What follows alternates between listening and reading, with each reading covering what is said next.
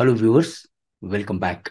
So this is part 12 of our series of session on Tally Prime Release 3.0, where we are covering the GST module features.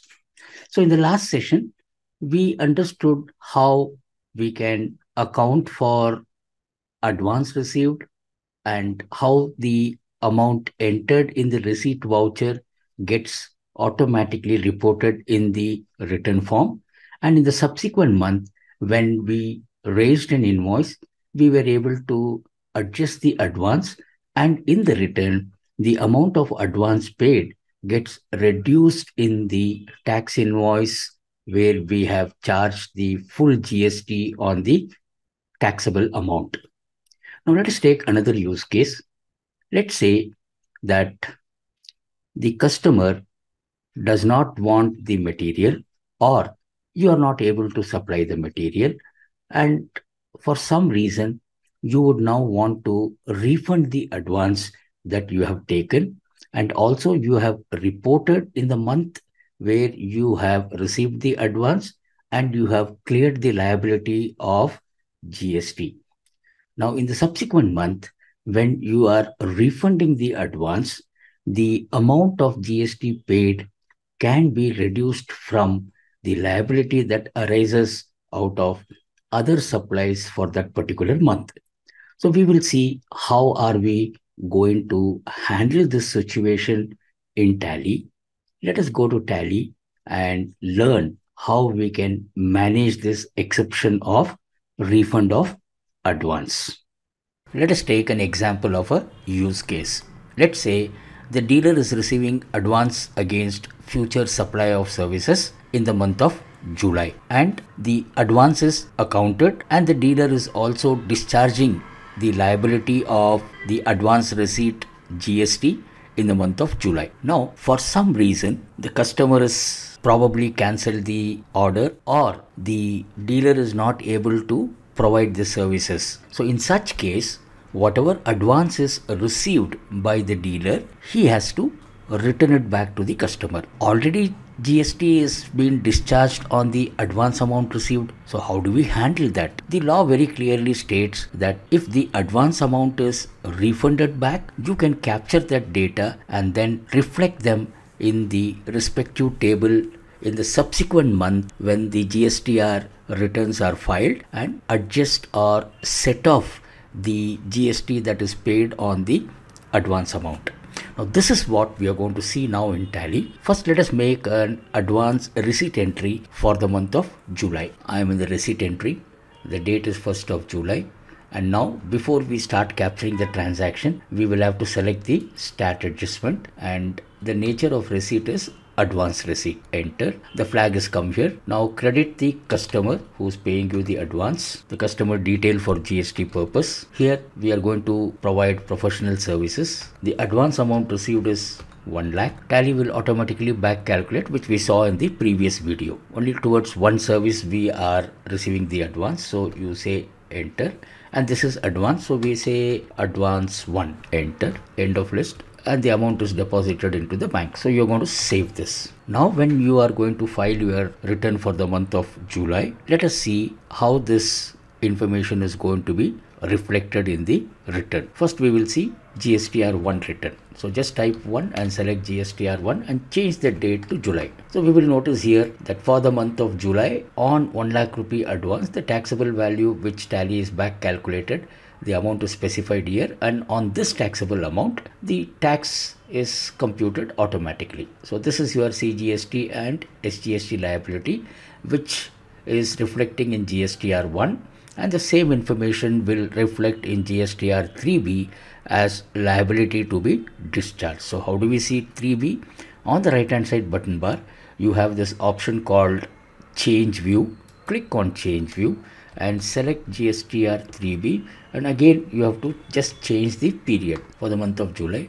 Now if you see here under GSTR 3B you have this taxable amount where the liability is there. When you enter it is going to specify that outward taxable supply other than zero rated nil rated because it's going to be taxable. Now again when you press enter for the second time the detail of your liability for the current period is given here. So the liability is arised due to advance receipt where the tax liability is shown here. So on this amount, the tax liability is shown here. So this way, automatically the receipt entry gets captured in the respective GSTR form of GSTR 1 and GSTR 3B. The example that we discussed that the dealer is now going to refund the advance amount they have received towards the future supply of services. So they have to make a payment entry. So how are we going to handle the GST aspect of it when the payment voucher is made is what we will see now. Change the date to 1st of August, enter and now change the voucher to payment just press F5 payment and before passing the entry again on the right hand side button bar you have this button called stat adjustment click on stat adjustment and this time you have this flag which says refund of advance receipt so that is what we are actually making the payment. Select refund of advance receipt. The flag is already come here as refund of advance receipt and now we are going to pass the normal entry. So you're going to debit the customer. The GST detail is for the form purpose. Enter. Again we are going to say this was towards professional services we had received an advance amount of 1 lakh which is going to be refund. So here if you see the title here it says refund amount. Enter the same back calculation happens not applicable. And this time for our records or for our books of account we are going to say against reference since we had created advance as a fresh reference.